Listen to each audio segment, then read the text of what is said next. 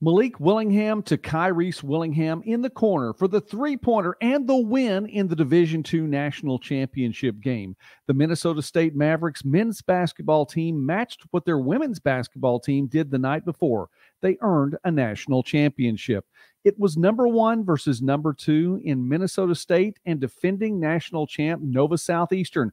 And it was a game of runs throughout but the back and forth between the two ultimately came down to an 85 85 tie in the final minute. And Kyreese Willingham's no doubt three went through the net with 0.8 seconds remaining, sealing the first men's basketball title for the program. Dylan Peters had 19 points and four assists for the Mavericks. Justin Egan's had 17 points and six boards.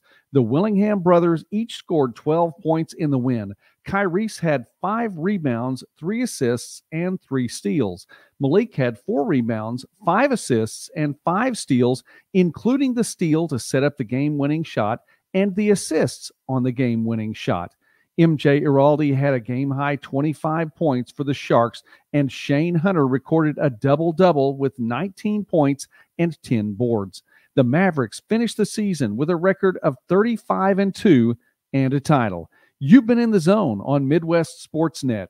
God bless you and happy Easter.